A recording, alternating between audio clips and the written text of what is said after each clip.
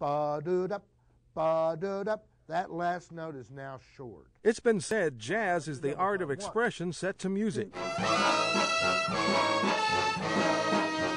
And what is musically expressed all the time at the UCO Jazz Lab is quality in musical art. Louis Armstrong was quoted as saying, Those who play jazz have often expressed the feelings that jazz should remain undefined.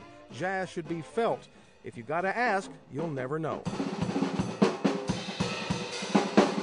When you hear these students or any one of the numerous professional performances here, you know one thing. You are hearing something very special. And it's not all jazz either. There are other types of commercial music performed as well. We've had uh, all types of genres, even Indian music, uh, music from the Orient, and uh, and jazz music. Is you know we play here with our students, and uh, we feature the local bands every weekend here with a variety of different types of music. And the town has really been supportive, and uh, they've all showed up and done their part. So it serves the community and the university very well. The Jazz Lab opened as a performance venue in March of 2002, and today the program continues to grow as it attracts more and more students. Lee Rucker says not only is his faculty outstanding, the students are first rate too. They work hard. We, as you can tell, require a lot out of them, but in the same token, they require a lot out of us. And on this evening, the students are giving an excellent jazz ensemble concert to a packed house. Audiences have seen a lot of exceptional performances over the years, not only from students, but from legends in the jazz world, such as Maynard Ferguson and Wynton Marsalis.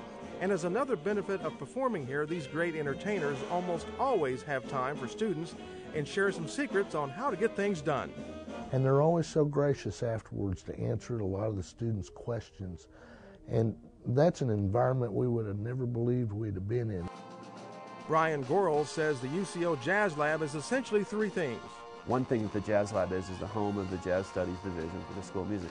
The second thing is it's this world-class entertainment venue, you know, that, that, meant to be styled after New Orleans sort of uh, vibe with the wrought iron railings. And then the third element is the commercial recording facility. And while Brian says it's all about performance more than anything else, the recording studio now gives students majoring in commercial music production that extra boost.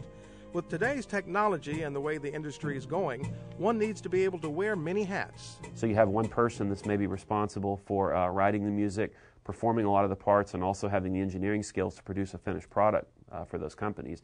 And so that's kind of our thought is to try to give them some experience on all those different roles um, as the engineer, the producer, and the musician, you know, and so they have the best chance at being versatile when they graduate and looking for jobs in the industry. Another exciting element to the Jazz Lab is it's uniquely Oklahoman for a variety of reasons, one of the most important being what they offer. There is no other master's degree that we know of anywhere in the United States that's a Master of Music in Jazz with a major in commercial music production. Music and food, they always go together, and the UCO Jazz Lab can hit the right notes if that's on your agenda for the evening. Great concert, great food, and uh, no smoking, clean environment. You can bring the kids. It's a family place. In Edmond, I'm Dean O'Lally.